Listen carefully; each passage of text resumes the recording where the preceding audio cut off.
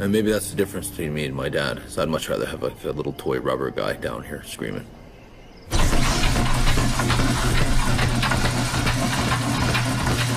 It's so bizarre to think that I want to have that in my house.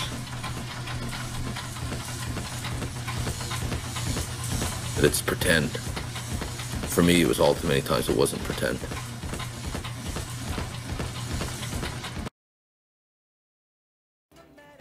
What the fuck are you talking about?